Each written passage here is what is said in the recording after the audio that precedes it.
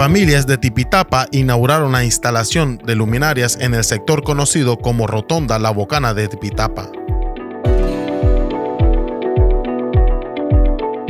Hemos recibido este proyecto de 12 postes más 28 luminarias en la Rotonda de La Bocana, conocido, y es una restitución más de derechos. Agradecer a la institución Enatrel, al gobierno que dirige el comandante Daniel y vemos muy bonita la carretera panamericana y esto viene a evitar accidentes. Los comunitarios ¿verdad? de esta zona aquí están muy agradecidos con nuestro gobierno porque verdaderamente ha demostrado la preocupación por rendirlos, ese privilegio de caminar ahora, aunque sea de noche en claridad, como se dice, con más seguridad para todas las personas, porque en esta zona anteriormente a esta altura no, no se miraba ni la palma de la mano.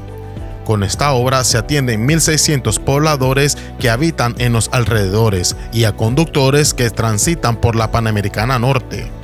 Sí, hay personas que trabajan aquí cerca, en la pollera, trabajan aquí en la gasolinera y muchas de, muchas de esas personas a veces circulan a pie, entonces a veces salen a altas horas de la noche, entonces al estar iluminado, pues eso también va a ayudarles a ellos, pues por minimizar algún este, accidente o también este, que, los asalten pues en, este lugar que, antes estaba este, a oscura.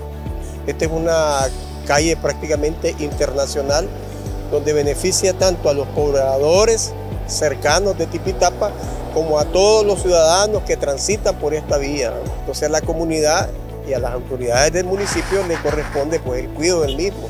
Y para ello pues están disponibles los números telefónicos del call center de Norte y Sur, 125 y 35, si alguna luminaria se daña, pues para que se envíen unas cuadrillas a hacer las reparaciones respectivas.